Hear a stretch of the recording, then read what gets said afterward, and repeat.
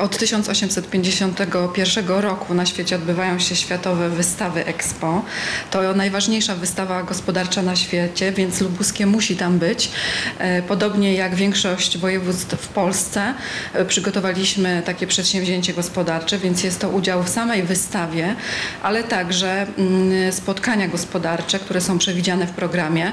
Zabieramy ze sobą 15 przedsiębiorców. Chodzi nam o to, żeby z nami pojechali przedsiębiorcy, którzy e, realizują e, swoje zadania w ramach inteligentnych specjalizacji regionu, na to głównie stawiamy, na nowoczesne firmy, które mają szansę nawiązać tam kontakty gospodarcze, które mają szansę zobaczyć, jak wyglądają światowe trendy, no i mają szansę na nowy, lepszy biznes. Nurtem przewodnim kolekcji e, będzie natura, która jest tutaj e, wokół nas, czyli lasy, jeziora, a szerzej mówiąc jest to niesamowite miejsce, które ma wiele inspiracji takich jak grzyby, ptaki, e, trawy, ryby, tak? Także e, no, wielka skarbnica różnych faktur, struktur, kolorów e, i do tego też rzeczy, które posiadają niesamowity ruch, tak? I zmieniają się, co ciekawe, w każdej porze roku i właściwie o każdej porze dnia inaczej wyglądają. Także to jest moja główna inspiracja do kolekcji.